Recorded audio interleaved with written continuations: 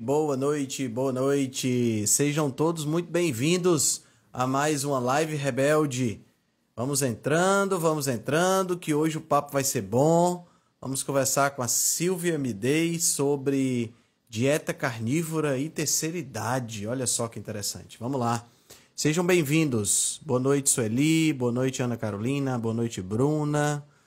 Boa noite, Drica. Boa noite, Olga. Sejam bem-vindos. Boa noite, Débora. Vamos chegando, vamos chegando. Já já a Silvia entra na jogada. Vamos lá. Sejam bem-vindos. Pronto, Silvia já está por aqui. Deixa eu chamá-la para live. Enviado. Boa noite, boa noite, boa noite, boa noite. Boa noite, dona Silvia. Estou vendo seu sofá. Sempre acontece. Tudo bom? Como está a senhora? Tudo bem? Boa noite. Boa e noite. me faz um favor, ah. Henrique, você me faz uma gentileza? Claro. Pode me, chamar, pode me chamar de você, viu? Porque senhora, ah, tá senhora não combina com uma pessoa idosa assim como eu, entendeu? tá certo. Como é que estão as coisas por aí? Que biblioteca bonita essa aí atrás de você. É, eu tenho um marido compulsivo por livros, são milhares e milhares de exemplares, e a gente está transformando esse escritório numa biblioteca. Ah, que legal. E cadê o Cláudio? O Cláudio está aqui, falou aí aqui para o Henrique. Olá, boa noite. E aí, meu amigo? Tudo bem? Como é que estão as coisas por aí? Estou aqui de assistente de iluminação, assistente de som, tá assistente certo. de, de bar, né? Descobri que eu e você temos algo em comum. Somos Olha. livros. Ah, é tipo assim, né? Um dia eu lerei todos os livros que estão aqui. Um dia. Né? Pronto. Né? Tô nessa mesma, eu estou nessa mesma luta, cara. O meu sonho era conseguir ler na velocidade que eu compro. Oi. Olha, perfeito, perfeito. Se for no ritmo do Claudio, nós temos uma biblioteca na praia também. Hum. É, a gente tem um, um, pé direito muito alto lá. Para você ter uma ideia, foram as paredes assim cheias, cheias. E agora aqui a gente mudou para uma cidade próxima de São Paulo. Na pandemia, nos adaptamos e ficamos por aqui. Então agora está fazendo uma biblioteca aqui. Mas é, é agora o, o desafio é que ele só pode comprar um ou dois livros quando ele ler algum. Então, nós estamos nessa luta entendi, aqui para. Entendi. entendi. Entendeu? E a, e a, e a, tua, a, a área de interesse dos livros é variada ou tem uma área específica? Não, eu, eu gosto muito de história, né? Hum, história mesmo da antiguidade, história também mais recente. Eu tenho interesse muito grande no século que eu nasci, né? Século XX. Nasci certo. em 51, uma boa ideia, né? Uhum. E, então, eu gosto muito da, da, da, da, história do século XX também, porque, de certa maneira, a gente foi um pouco protagonista de tudo isso, né? ou, ou melhor, sabendo, é, observador né, da história. Sim, sim. Vivemos aquele tempo, Guerra Fria, uhum. e então a gente uhum. tem essas lembranças né, de, de, infância, misturado um pouco de história. Viramos o século, agora século XXI, né, com outro panorama, mas eu, eu gosto muito de história, um pouco de religiões antigas também, a gente ah, transita um pouco nesse, nesse espectro, né? Muito! Muito. Então, são basicamente essas duas áreas de interesse. Aí tem os negócios de planta aqui, miocultura, é. umas confusões. Aí é minha parte. Esse pedacinho aqui é meu. Ah. Esse pedacinho é meu. Que aqui. legal, Cláudio. Que legal. Silvia, sua área de interesse é essa parte de planta? Me conta como é isso. Foi muito tempo. Foi muito tempo, eu, eu gosto de mexer com planta até hoje, mas eu fui vegetariana por 40 anos. Eu passei a maior parte da minha vida como vegetariana, principalmente a minha fase adulta. Eu voltei a comer proteína animal há cinco anos, né, se tanto. Lembrava, eu não lembrava desse detalhe da sua história. Fala um pouquinho sobre isso. que foi que te levou ao vegetarianismo? Eu, eu me sentia indisposta. Com licença, pessoal. Ah, claro. então, Obrigado, cara. E atrás. Fico aqui na assistência aqui. Boa live para vocês. Valeu. Então, Henrique, eu passava mal.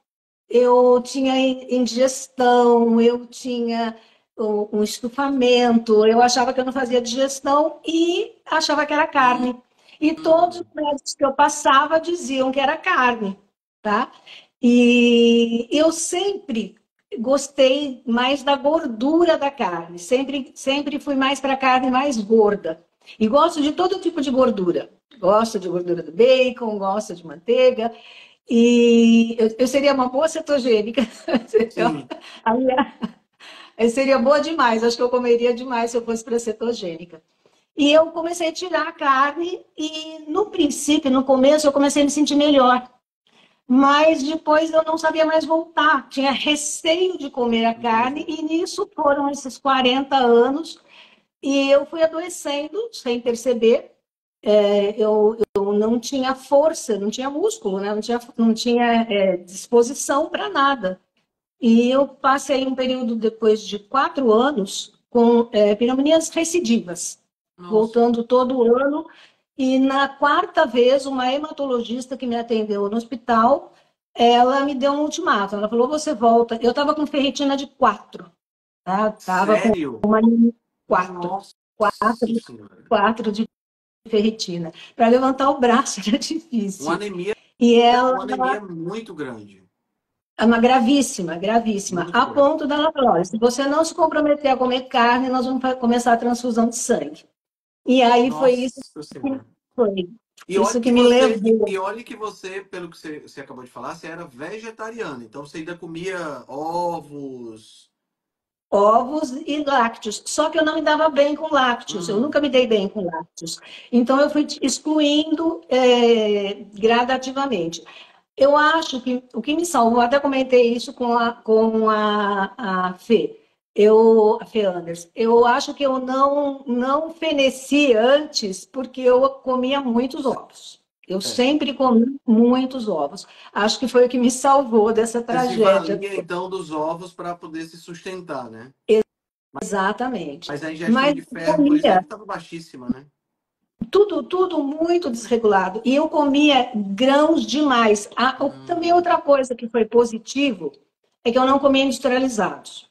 Eu nunca tomei um refrigerante, eu nunca comi um McDonald's, eu nunca comi industrializados. Porque aí eu virei a natureba, sabe? Aquela coisa chata. Aí eu gostava de comer o que eu plantava, comia punks, eram aquelas plantas não comi, é, plantas que nascem naturalmente, né? Uhum, uhum. Cultivava aquilo. Então, era, era muito atípico. E numa época que estava todo mundo indo para o industrializado, eu era outsider, eu não, não navegava nessa praia. Isso também me ajudou muito. Isso me Sem ajudou dúvida. muito. Eu não desenvolvi resistência metabólica, nunca tive diabetes, nunca tive pressão alta. Só que era uma obesidade que é a loucura. Eu cheguei a quase 100 quilos com 1,54m de altura, né? Então você vê. 100 quilos, 1,54m de altura e 4 de ferritina. 4 Gente, que, que destruição. Eu não levantava, eu não levantava. Eu tenho aqui nessa casa ainda, essa casa é do meu filho. Nós vínhamos passar o fim de semana aqui. O Claudinho fez todos os canteiros elevados para mim. Porque se eu abaixasse, eu só levantaria com ajuda. Eu não saía, eu pusesse um banquinho, por exemplo, para mexer num, num canteiro. Eu ficava esperando ele vir para me ajudar a levantar, porque eu não conseguia, não tinha força para levantar. Não tinha força. No começo Hoje...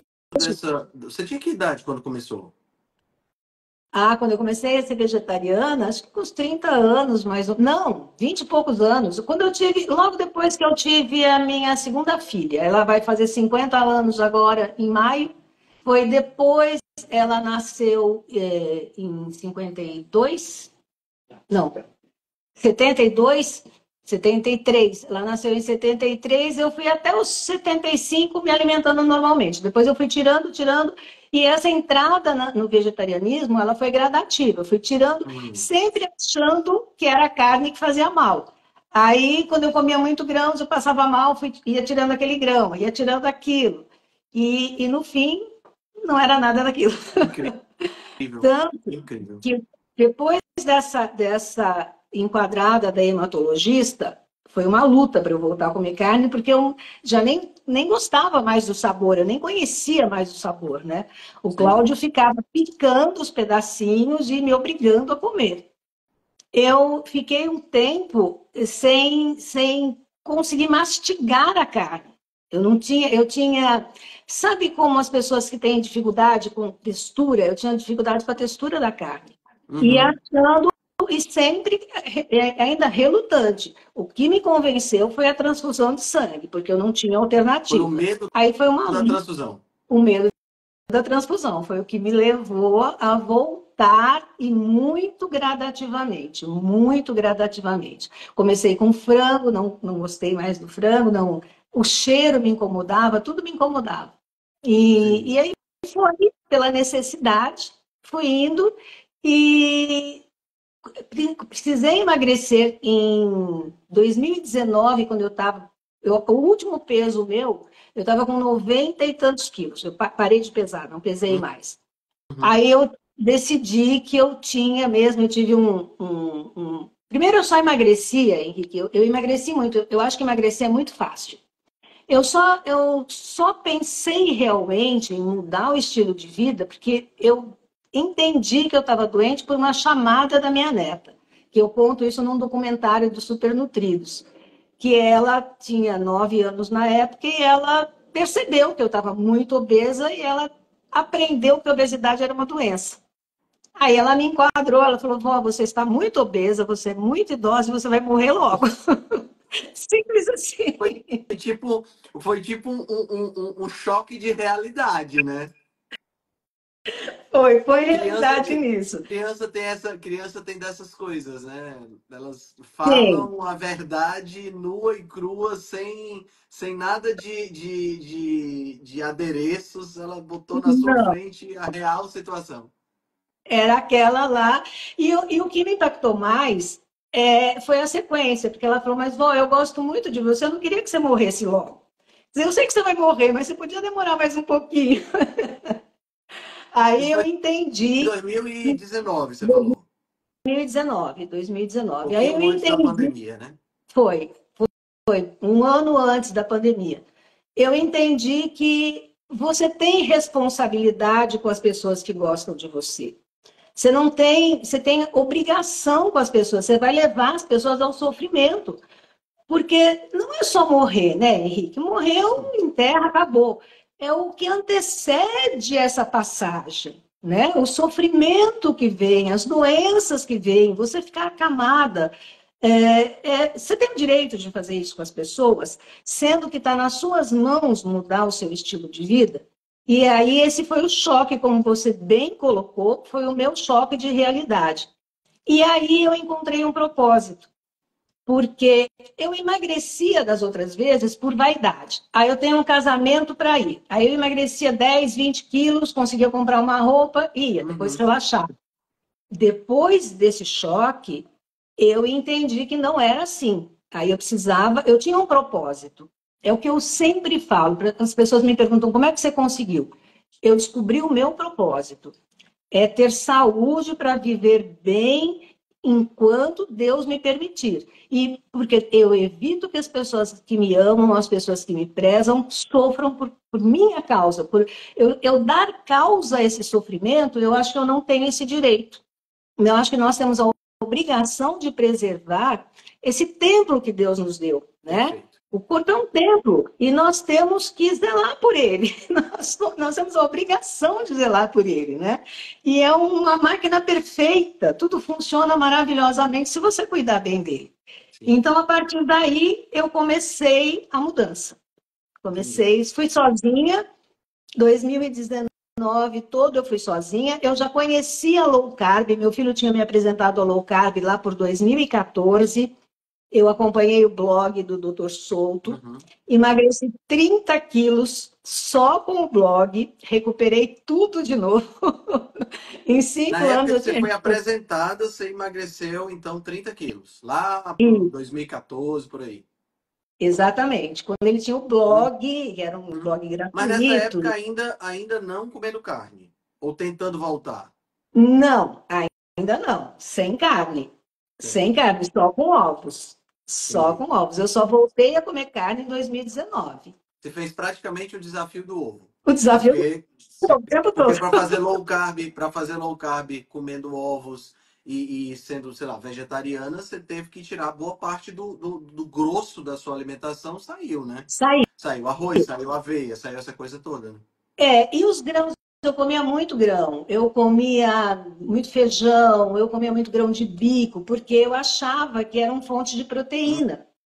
Eu, e eu acreditei nisso até em 2020, quando a, a numa live, falou: não, a proteína do feijão sai toda no cocô, não serve para nada.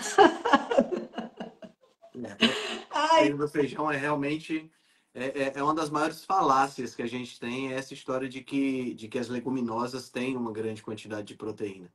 Pois tem, é. São fontes, são fontes muito maiores de carboidrato do que de proteína. E a proteína ainda é uma proteína incompleta, sem a, a, a, perspectiva completa dos aminoácidos, sem a quantidade ideal de leucina, que é o aminoácido anabólico. Então, é, é, é, é sem sentido. E, e, com a quantidade enorme de fibra, que estufa tudo e que dá gases e por aí vai. Né? Ah, eu tinha um barrigão, assim, de grávida de nove meses. Era uma coisa horrível, assim, mal-estar constante. E sem contar que eu tinha um refluxo e eu comia muito pão. Hum. Eu nunca fui muito doce, eu nunca pendi muito para o doce, mas eu comia pão alucinadamente. E eu tinha um refluxo, Henrique, que eu dormia sentada. Eu não, não passei anos sem, sem deitar para dormir, dormia sentada, não, não conseguia é, dormir, eu engasgava, sufocava. Uhum. Era horrível, horrível, horrível. E a primeira coisa que eu tirei em 2019 foi o glúten, foram os pães que era a minha perdição. Eu falei, bom, então eu tenho que começar pelo mais difícil. Tirei os pães. E, e foi como um passe de mágica. Isso me favoreceu muito também. Eu, o, o refluxo sumiu. O refluxo desapareceu. Aquele estufamento. Tirar, só tirar os pães, o, o refluxo desapareceu. Desapareceu, desapareceu. Eu comecei a dormir à noite, que era uma coisa que eu não sabia o que era, né? Passar uma noite de sono. É, o estufamento regrediu muito, não tinha aquela, aquele mal-estar, a roupa começou a ficar folgada. Eu perdi 20 quilos é, no ano de 2019 sozinha.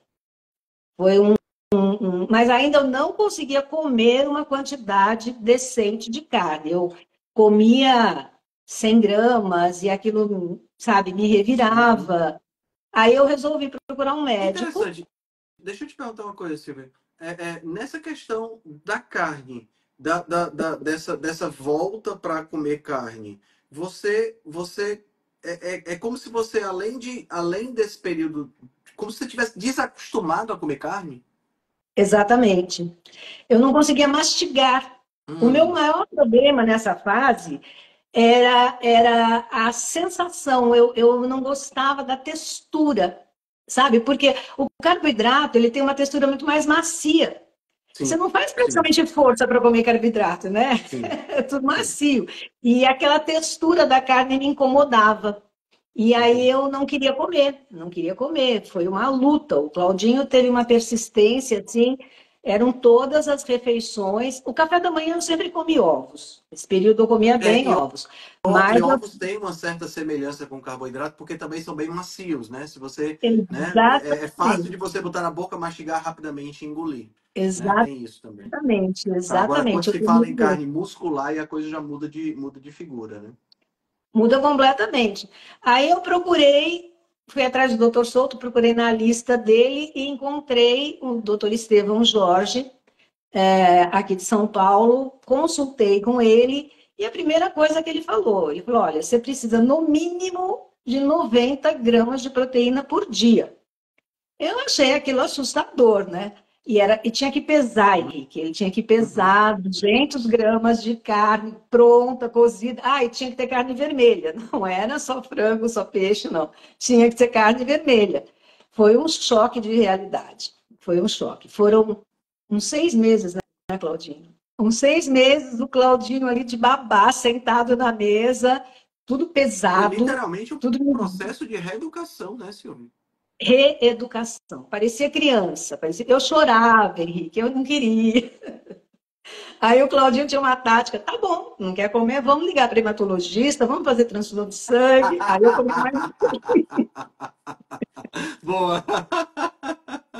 Ele já botava logo o medo maior. Tocava o terror, ele tocava o terror total, tocava o terror total. E aí foi. E em 2020 nós ficamos isolados, né? uhum. né? Ficamos um ano sem ver a família. Nós a, gente foi, a gente fez a nossa primeira live, foi 2020, 2021, por aí, não foi? 2021. 2021. A nossa live foi 2021. Foi? Foi em 2021, porque eu já tinha emagrecido mais, mais os 20 e tantos quilos. Porque no total eu emagreci 42 quilos. Certo. E aí eu já, quando eu fiz a live com você, eu foi meados de 2021, eu já tinha emagrecido tudo, já estava no pico do peso. Você praticamente 40... reduziu, quase reduziu seu peso à metade, né? Metade, metade. Incrível. Metade, metade. Incrível.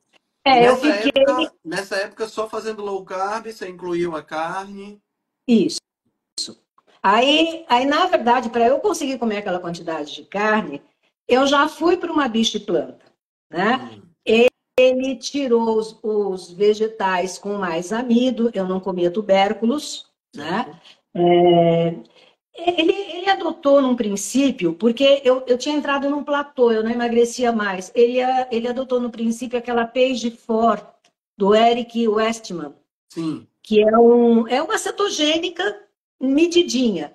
Eram duas xícaras de folhas e uma xícara de vegetais de baixo amido. E 90 gramas de proteína. essa, era, 90 essa era a dieta. Gramas, 90 gramas no total ou em cada refeição? No total, né? 90 gramas no total. No dia, é. no começo, foi 90 gramas, depois passou para 120. Depois, Hoje você primeiros... tranquilo isso aí. Hoje eu como até mais. Hoje eu como numa refeição, eu como 400 gramas de carne todo santo dia. É. Todo santo dia. Que mudança. Pesado. Que mudança. É uma mudança. Foi uma. Porque assim, é, qual é o processo, né? À medida que você vai comendo a proteína, Henrique, você vai percebendo a mudança. É muito forte, é muito perceptível. De repente, eu me pegava levantando sozinha, sabe? Sem precisar de ajuda. Eu abaixava para pegar alguma coisa, eu carregava um, um, um balde para molhar a planta. Você percebe? Eu consegui, comecei a ter autonomia e aquilo foi me encantando. E aí eu demorei para perder aquela, aquele ranço da textura. Demorei bastante. 2021 eu ainda estava ainda com dificuldade para mastigar. Mas aí eu me, era, aí era o propósito, sabe? Aí era aquela uhum. coisa de raça mesmo. Hoje eu não tenho o menor problema, como todo tipo de carne, como fígado. Eu como fígado. Fígado, fígado é que nem é que nem Flamengo, né? Ou você ama ou você odeia, né? Impressionante. Eu odeio. Eu odeio os dois. mas, com, mas, mas como porque tem que comer, né? Como porque tem que comer. Eu, é, é assim, e você falou inclusive das minhas receitas tal, né? Eu não sou aquela é, pessoa da minha idade convencional, tradicional. Eu, eu cozinhei quando eu tinha os meus filhos pequenos, uhum. Porque, como eu disse, eu sempre fui natureba, eu gostava de comida natural, feita em casa, né? Que eu, que eu é, conhecesse os ingredientes, nunca fui de comer, não, não como nada de delivery, nunca comi. E eu tive cozinheira há muito tempo, porque eu trabalhei a vida toda e continuo trabalhando até hoje. Então eu viajava, era uma vida muito corrida e eu não era a feita cozinha depois. Eu passei uhum. mais de 30 anos sem encostar um umbigo no fogão. Quando nós viemos para cá, aí, inclusive, veio a pandemia, eu não tinha alternativa, eu tinha que cozinhar. Eu falei, bom, já que eu vou ter que cozinhar, vou, vou ter que fazer, vou aprender a fazer direito. E aí, mais óbvio que tem aquela coisa, minha mãe cozinhava muito bem, minha sogra cozinhava muito bem. Então você tem uma memória afetiva Sim. da comida, né? Sim. E eu gostei, peguei gosto de cozinhar. Peguei gosto e hoje, por, por exemplo, o fígado que a gente estava falando, eu faço de mil formas diferentes. Aquele bife de fígado convencional, tradicional, que o Cláudio come, acebolado, eu não passo nem perto, eu não consigo. Mas eu faço um escondidinho de abóbora, eu faço estrogonofe de fígado, eu vou inventando, vai indo. Agora, a gente faz umas torradas de fígado. Torradas de fígado? Essa é interessante. Conta aí pra gente. Torradas de fígado ficam uma delícia, uma delícia. Minha amiga Babi incrementou a receita, elas ficam uma crocância, fica super gostoso, super Olha, gostoso. Interessante, interessante. Torrada de fígado. Torrada de fígado. Eu faço o fígado de milhões de formas. E assim, eu me obrigo a comer é, pelo menos uma vez por semana, a gente tenta comer o fígado. O Claudinho come com a maior facilidade, dá até gosto de ver. E ele come do jeito que tiver. E eu estou comendo melhor. Antes era mais sofrido. Hoje eu estou comendo melhor. Eu como fígado de galinha, como. O que, que eu não consigo comer de vísceras? Eu tenho um grupo de amigas que eu conheci num curso do Dr. Marcelo Cardoso, que são as gurias, as uhum. leoas imparáveis todas do Rio Grande do Sul. E elas comem muito víscera, muito. Comem coração, comem é, bucho, comem de toda forma. Eu tentei todas, todas, mas é, coração eu não consigo e, e bucho eu não consigo. Isso não, não foi ainda. cheguei lá ainda. Não, não, não tô ainda na, no nível ouro, ainda estou no nível prata ali das vísceras. Tá, mas, mas elas. Se você, se você pensar de onde você saiu, você já teve uma evolução gritante, né? Uma evolução muito grande. Muito grande, muito grande. Com coração de galinha toda semana. Toda semana eu como bastante coração de galinha. Então, eu, a semana que eu não como fígado, eu como coração de galinha. Tem, tem que ter vísceras toda semana. Por quê? É. Você você sempre fala sobre isso, que nas vísceras você tem a, a gama completa de vitaminas que você precisa, uhum. né? Então, é, não, não é só o que você quer. Acho que a gente tem que comer, tem que fazer o que precisa ser feito. É. Então, é. eu, essa, eu essa... tenho...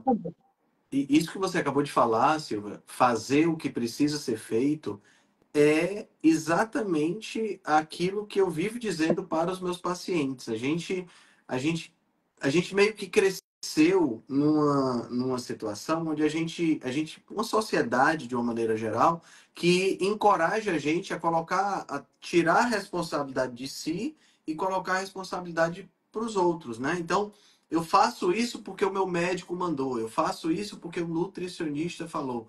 E, e, é interessante porque isso não é uma questão de, de, de jovialidade, não. Qualquer idade você vê pessoas delegando a sua responsabilidade. Então, delega a responsabilidade sobre sua saúde, delega a responsabilidade sobre aquilo que come. E, e é engraçado, eu eu tava, tava conversando com uma, uma colega e ela estava falando que o, o marido dela, que gosta de uma cerveja, né?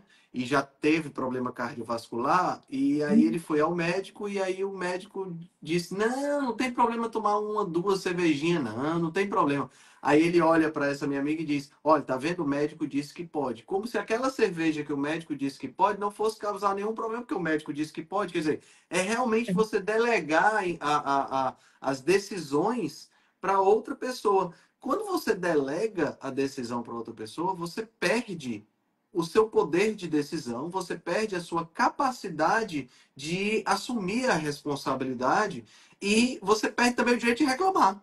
Exatamente.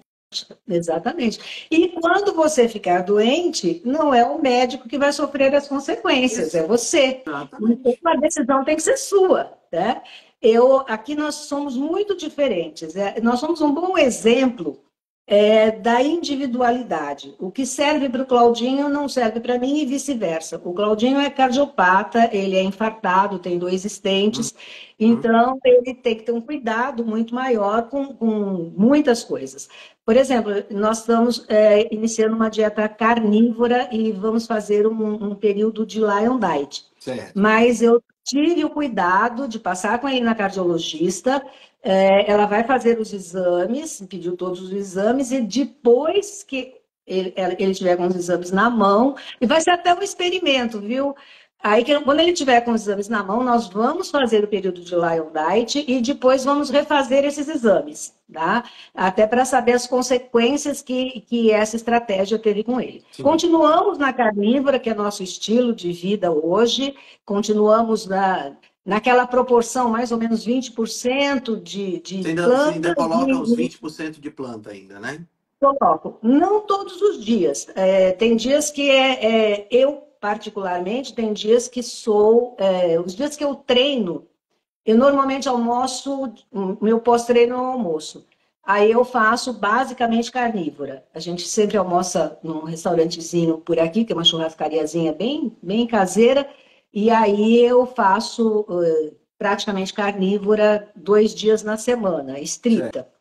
Mas aí eu coloco, eu não, não, não vinha fazendo Lion Diet, porque lá eu tenho outras alternativas de carne, então eu acabo pegando outras coisas. É, uhum. 80% de, de bovino e o restante um pouquinho de suíno, um pouquinho de frango, coração de frango, que eu como toda, toda semana. É. É, mas, basicamente, a, a, minha alimentação é 80%, 80%, 90%, e a do Cláudio é 70%, entre 70% e 90%. O Cláudio dá uma é. abusadinha mais do que eu. Entendi. Ele, e, e, mesmo e, porque ah.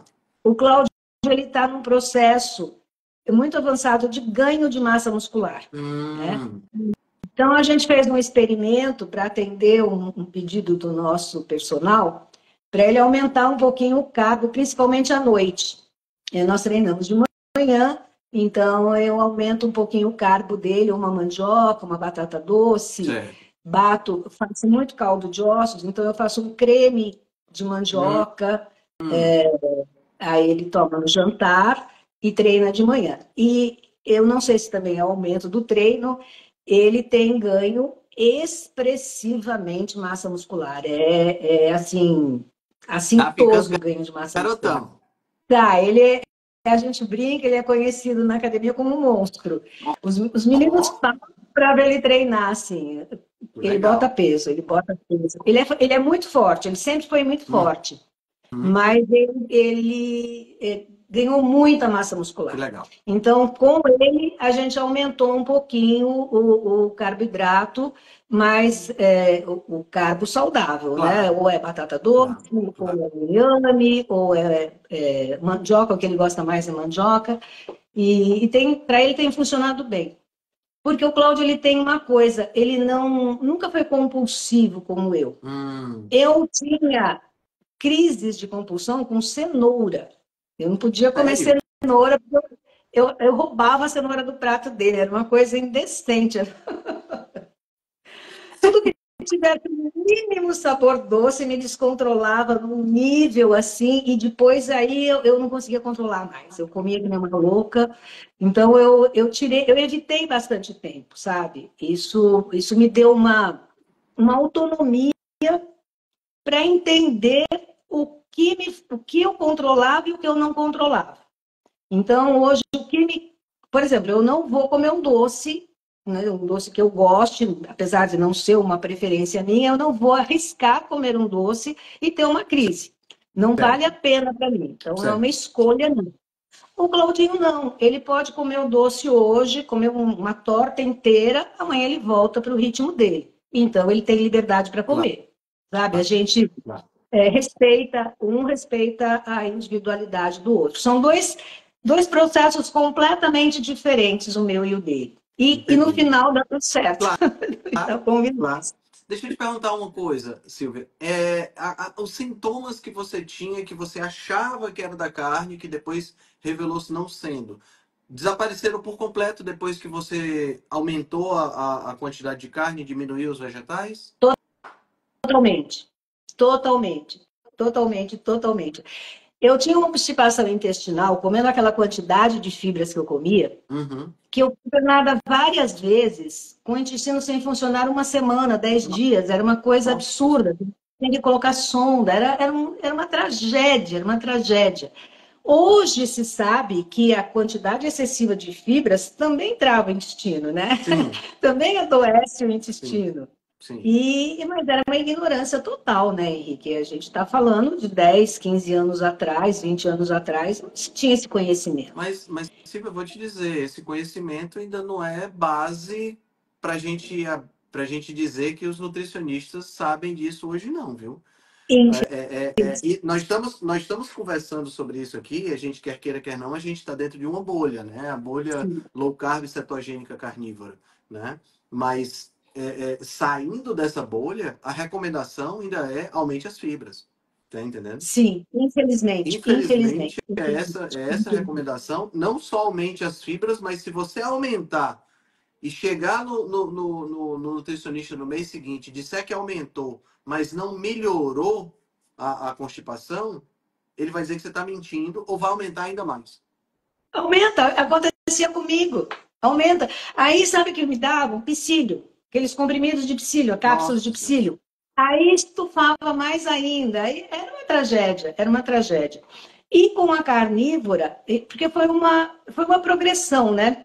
Na verdade, eu fui conhecer a carnívora quando eu entrei com o perfil.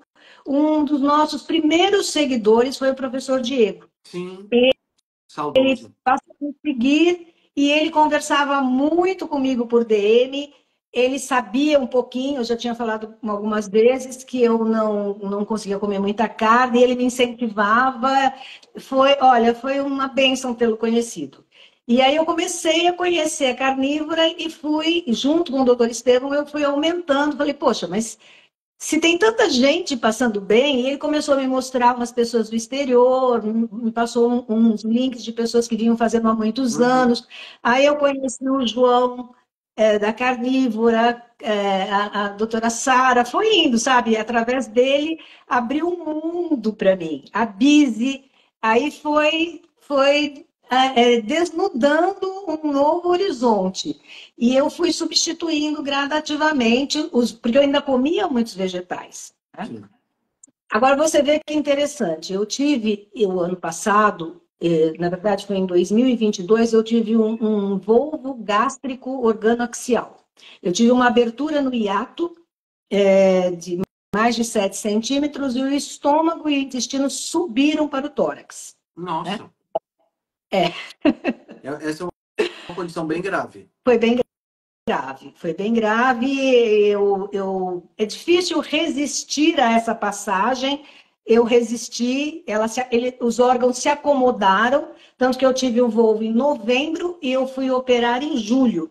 Né? Caramba, você e, passou como é que você conseguiu? Não, tá, não, tinha, não sentia dor? Sentia, sentia, sentia bastante dor, era bastante dor, bastante mesmo. Mas eu ainda, eu, ninguém queria operar sem fazer todos os exames. Uhum. E chegou num ponto que a gastro que eu, que eu tinha é, recebido orientação para operar com ela, ela jogou a toalha. Ela falou: olha, não tem como operar, porque o estômago estava tava entre o coração e o pulmão. Ela falou: não tem como tirar o estômago daí.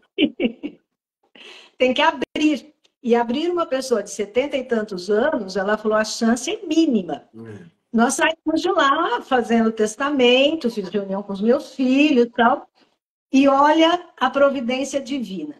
Eu estava dando um curso é, para um amigo meu nutricionista, né, falando sobre organização, planejamento da dieta tal.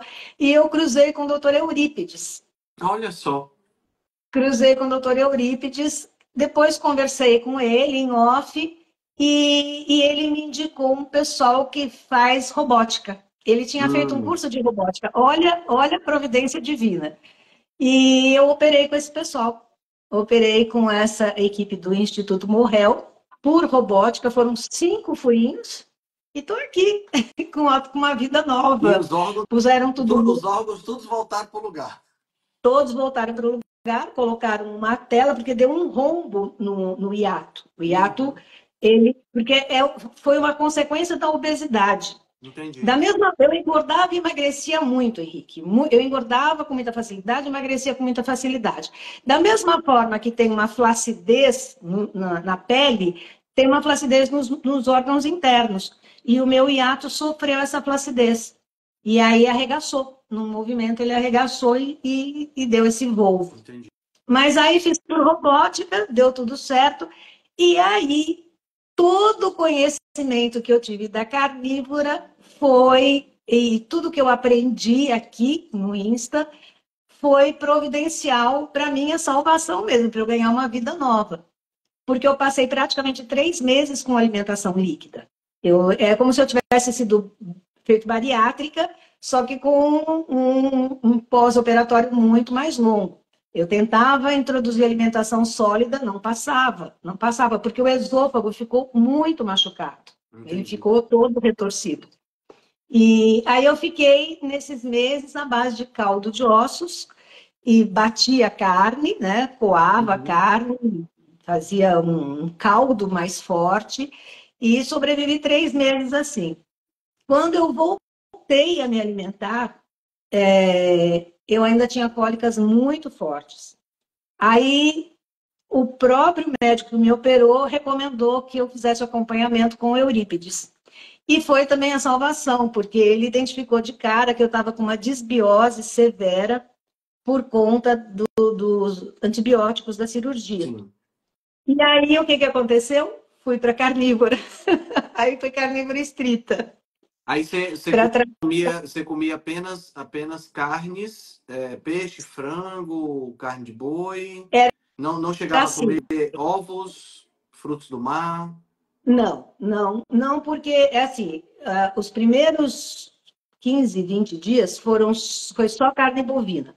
Só carne bovina porque ele precisava identificar, e aí veio uma nutricionista da equipe dele, que é a maravilhosa Betina, especializada em intolerâncias, precisava, ele precisava identificar o que estava piorando aquela desbiose. A desbiose foi causada pelos antibióticos, mas os alimentos pioravam a desbiose. Né? E vinham aquelas dores no, no intestino delgado horríveis, assim, de você desmaiar. Uhum. E aí a carnívora foi a solução.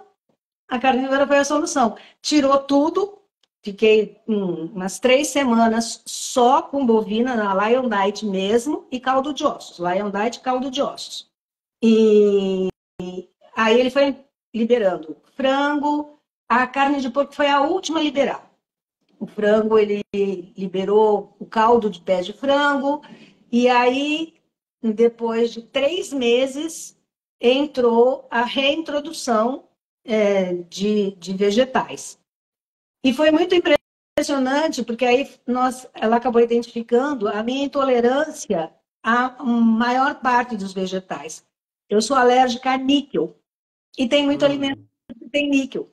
Né? Então, aí foi, foi identificando, ia, tirava tudo de novo, carnívora uma semana, punha um vegetal. Não desse nada, podia comer. Se eu comesse duas vezes, poderia dar reação. Foi um processo longo, mas foi muito pedagógico, muito hum. pedagógico. É, você e entendeu aí... como funcionava, como funciona seu próprio corpo. Né?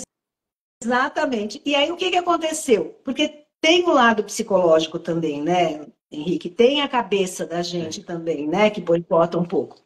Eu acabei entendendo que os vegetais não são necessários, não são essenciais. Eu, eu sobrevivi muito melhor, com muito mais disposição, e além da disposição física, eu vivi, sobrevivi muito melhor nesse tempo, nesses meses né, de, de acompanhamento com ele, é, com uma clareza mental hum. que eu não tinha antes. Eu passei a fazer cálculos de cabeça, eu voltei a estudar inglês, sabe? Assim, num, num, num movimento acelerado, num aprendizado acelerado, que eu não tinha anos, sabe? No trabalho, tudo, tudo, parece que é, é uma névoa da sua cabeça, sabe? Eu, assim, você começa a enxergar. Sabe quando você é míope e de repente você bota o óculos? Meio assim. Então, essa, todo esse processo foi muito educativo para mim. Muito educativo. Porque eu, eu, eu constatei, pessoalmente, que os vegetais não fazem falta. Muito pelo contrário, a maioria deles me prejudica. Uhum. Eu como porque eu gosto de algumas coisas, mas que eu precise deles, eu não preciso. Isso eu confirmei. Agora você vai poder dizer aí para as pessoas queridas que estão nos acompanhando se isso é uma individualidade ou isso acontece no geral, né? Não, é o que acontece, sempre acontece muito, acontece muito. O que acontece, sabe, Silvia, é que a gente